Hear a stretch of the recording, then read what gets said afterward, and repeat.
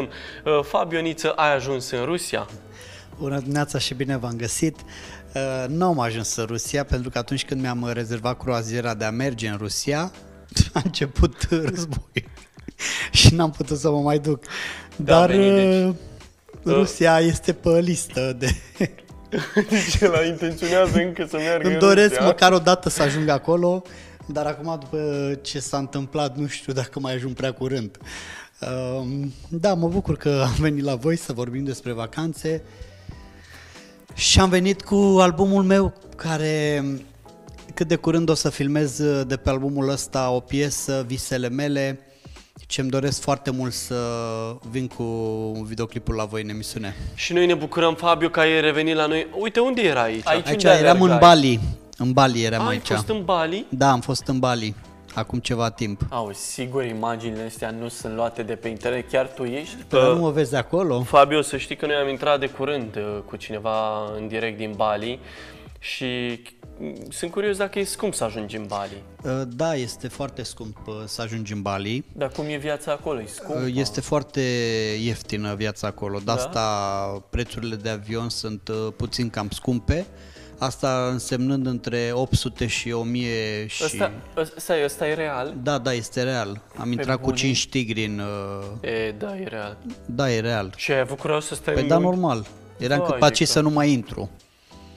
Vai de cap. Eu nici dacă mi-ai dau un milion de euro în asta lângă unul. Chit că e dresat, chit că o fi oricum. Păi nu, că el era sedat. Cum adică? Se dat că zâmbea acolo. Păi nu, așa sunt. Zâmbea să Aici eram în Maldive. Da. Aici prin Uh, uh, eu Italia. Sunt, eu sunt curios uh, dacă îți mai amintești cât uh, ai plătit pe, de exemplu, un, un meniu. Dacă spui că biletele scumpe, dar viața ieftină acolo în Bali. Adică, să zic că în România plătești în jur de, eu zic, Da. între 30 și 50 de lei pe un meniu, să zic așa. Unde pentru- mai găsești cu 30 de lei? Mai găsești.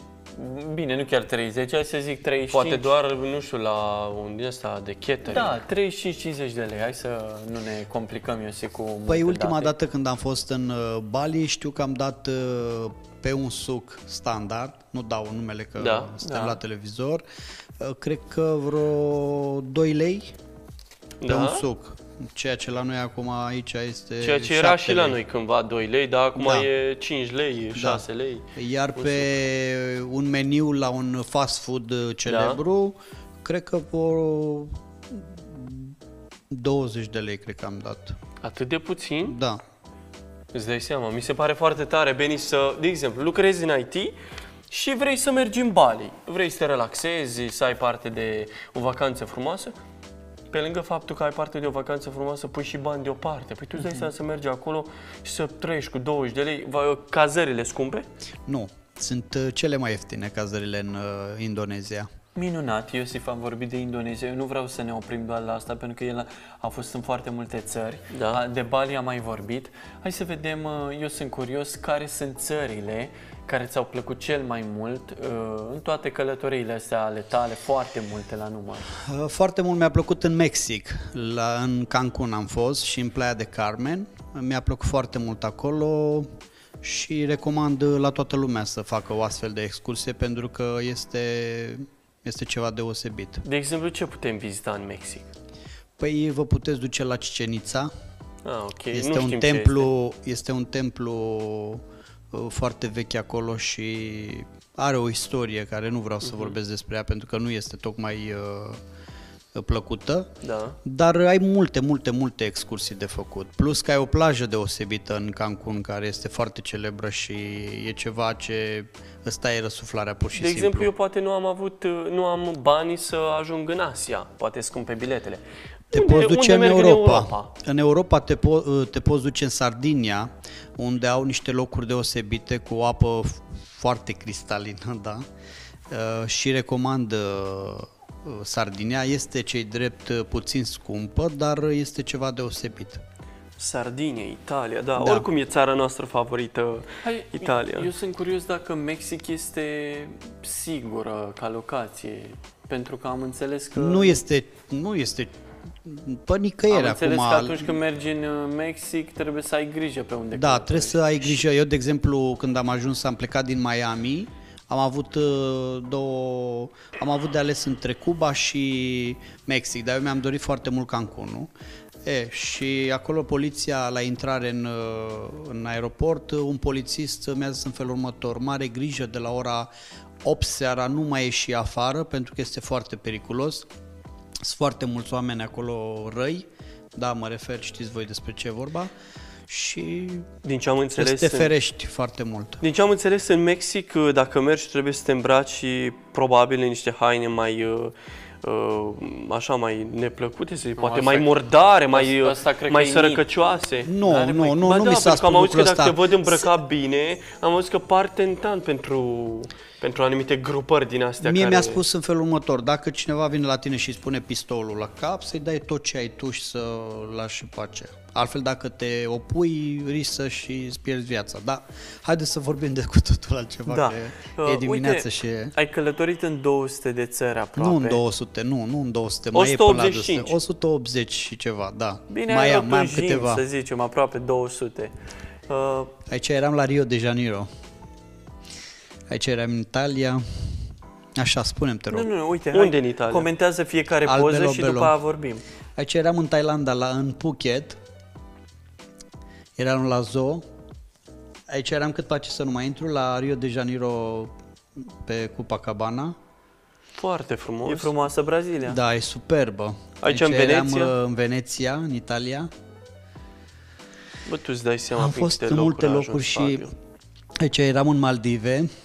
Mamă mia. Da, mi-a plăcut să descoper lumea așa cum este ea și cu bune și cu rele. Aici eram în uh, Italia. Doamne, e superbă Italia, uite-te Îmi place cămașa ta. Da, întotdeauna mie mi-a plăcut să uh, sunt foarte atent în locurile pe care le vizitez. Aici cum te îmbraci? Să am, să am ținutele cel mai potrivite. Dacă observați hainele mele... Aici este în Israel, nu? Da, înainte să înceapă războiul în Israel.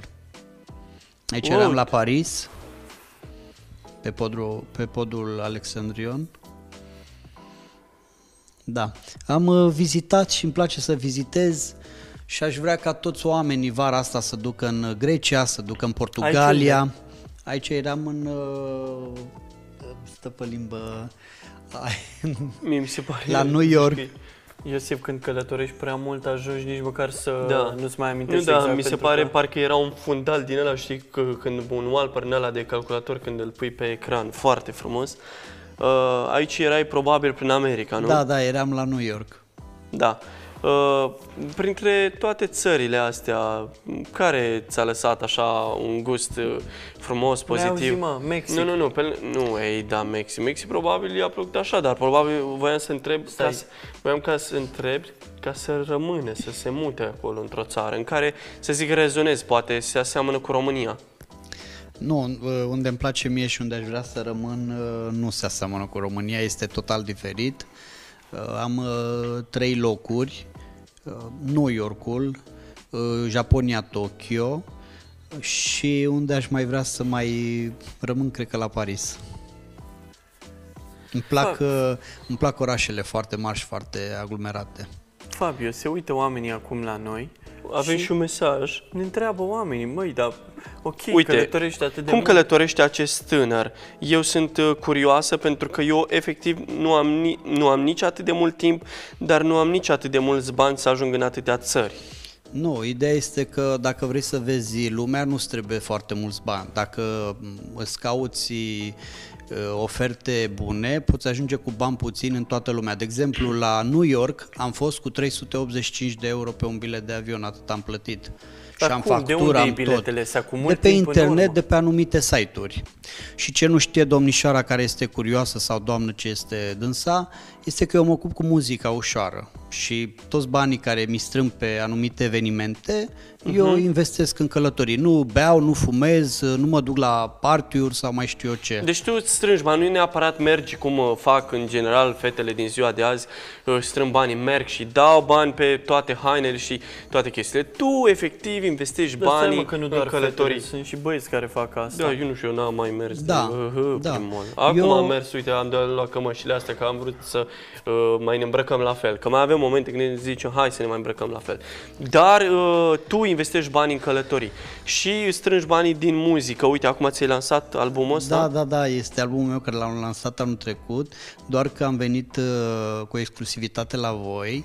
De pe albumul ăsta am să fac uh, un videoclip uh-huh. la piesa Visele mele și abia aștept să lansez uh, Minunat. Și am mai lansat o piesă cu Aura B care e acum pe YouTube. O să te urmărim să... pe YouTube, pe canalul tău de YouTube, Fabioniță. Până atunci vreau să te mai întreb, uite, călătoritul ăsta în jurul lumii, cu da. ce te-a ajutat, cum te-a schimbat, cum te-a dezvoltat, ca să vedem puțin, uh, wow, wow, ca, wow, wow. ca să vedem puțin uh, efectele pozitive ale călătoritului. Da, hai să spun ce s-a întâmplat. Uh, eu când am fost puțin mai mic, adică pe la vârsta de 18 ani, cineva mi-a promis că mă duce la Paris și acea persoană în ultima zi de plecare mi-a spus că nu, nu se mai poate, nu știu ce, nu mai țin minte acum exact ce mi-a spus persoana respectivă, doar că pe mine acea, uh, cum îi spune, întâmplarea aceea pe mine m-a făcut să mă duc să văd toată lumea. Mi-am dorit și mi-am propus să văd lumea. Ei bine, ce mi-a făcut mie bine este că am cunoscut oameni simpli. Am cunoscut, uh, pe mine unul m-a făcut mai bogat decât eram. Da? Am, am cunoscut tot felul de caractere de oameni, am cunoscut tot felul de uh, locuri deosebite, am, am avut tot felul de experiențe care nu se compară cu nimic. Adică oricât de mulți bani ai da, n-ai putea să faci acele experiențe, înțelegi?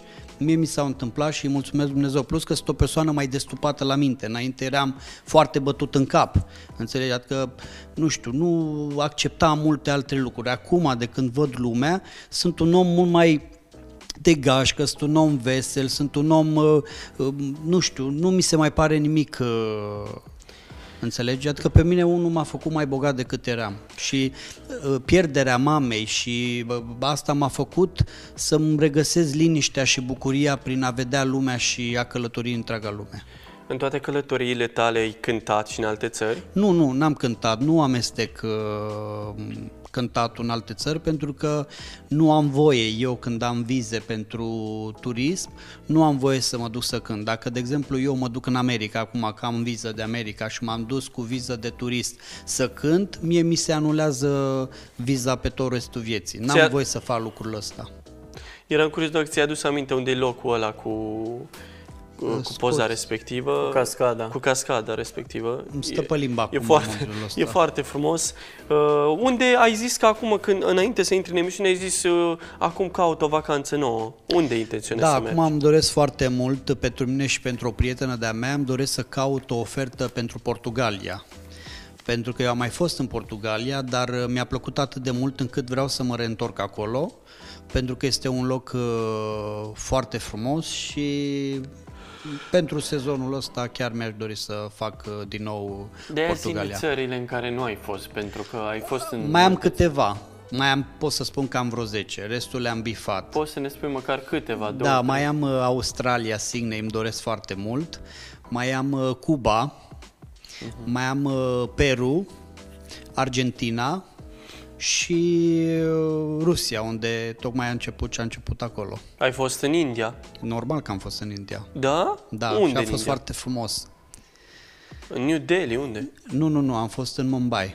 Wow! Da, foarte da și a fost foarte frumos. O să vă aduc poze să le vedeți cândva.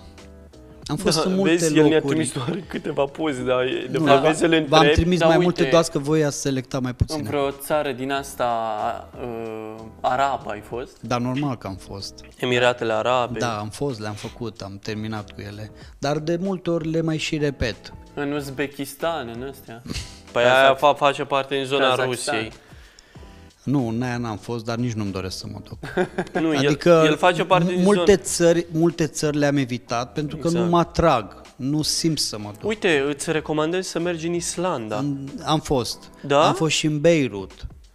Am fost, le-am am vizitat foarte multe, doar că multe nu le-am postat pe asta, unele le-am postat, unele, ce mi-a plăcut mie cel mai mult, pentru că în multe locuri am prins și vreme proastă și, și voi știți destul de bine că eu dacă nu am poze frumoase, eu nu postez. Da. Fabio Niță, mulțumim mult că ai venit în dimineața asta. Și eu vă mulțumesc Te frumos. invidiem, dar totodată e o invidie pozitivă, adică ne dorim și noi să mergem în foarte multe țări, să ne dezvoltăm. Și mai postează bilete, o ofertă atunci când uh, găsești vreo ofertă, postează la tine pe Instagram, pe Facebook, să găsim și noi, să găsească oameni. Nu, ție ți le trimit personal. Păi nu, dar uite, și ca să găsească oamenii pe, pe Instagram, pe, Dar ce să pe Facebook, nu? Păi nu, dar poate, uite, oamenii te urmăresc și își doresc să călătorească și probabil poți să-i ajuți într-un Am să anumit pun fel. acolo, da. Mulțumim mult, Fabio, a fost o plăcere. Fabio Niță, până atunci, Beni, urmează o scurtă pauză.